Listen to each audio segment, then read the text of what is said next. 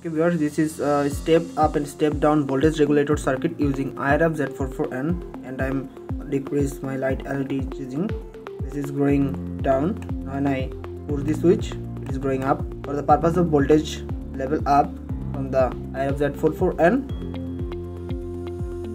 this is just demonstration video. The main video I'm showing how to make this circuit as a professionally any appliance and any source and also explaining how this circuit is actually worked.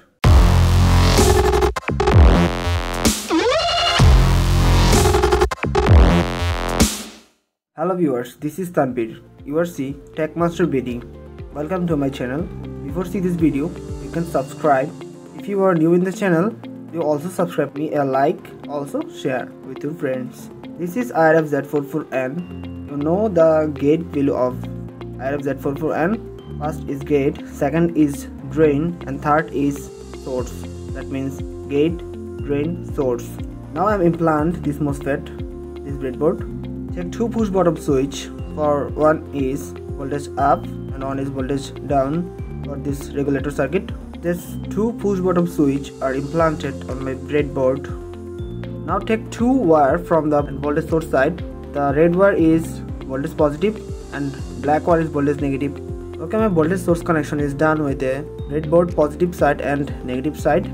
This is very low microfarad as a varistor using this for voltage controlling in 220 volt to 3.5 volt and else this is 1 microfarad and 250 maximum voltage consume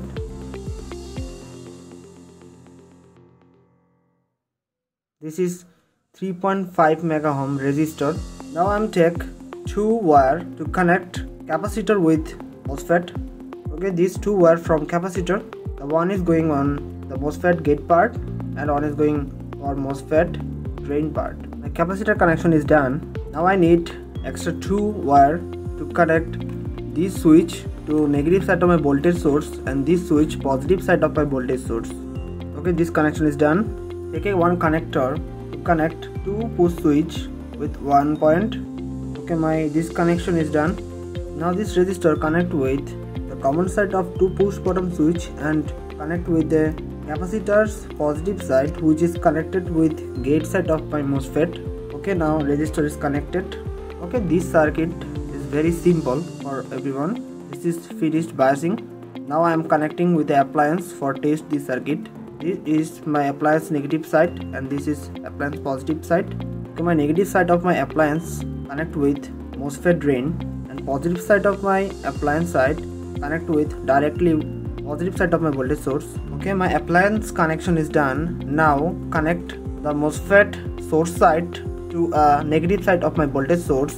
For this purpose take a one wire to connect negative side of my voltage source to MOSFET source side okay my connection is done.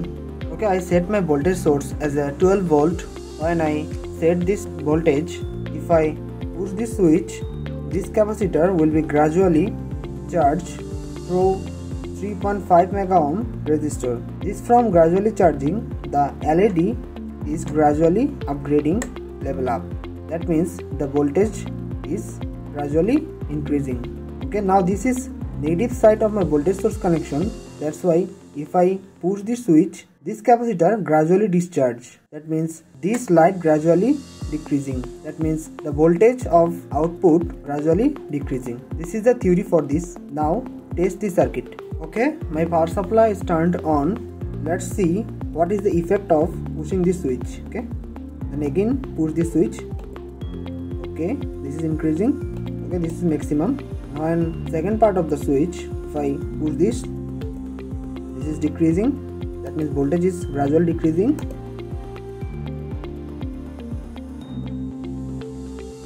Okay. Now this is turning off. If I steady step pushing the switch this light is going increasing up.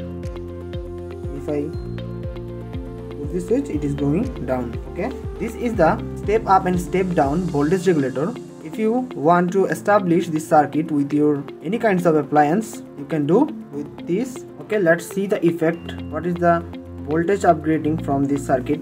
When I'm pushing the part of my voltage source? Okay this is increasing. Okay this is increasing. My appliance is also 12 volt operatable LED that's why this is only glow for the 12 volt. But the multimeter showing the voltage upgrading this from the circuit. Okay this is 8 volt. Now the LED is also glowing. Okay this is 10 volt steady response. Okay this is the maximum. This is the example and explanation how this circuit worked.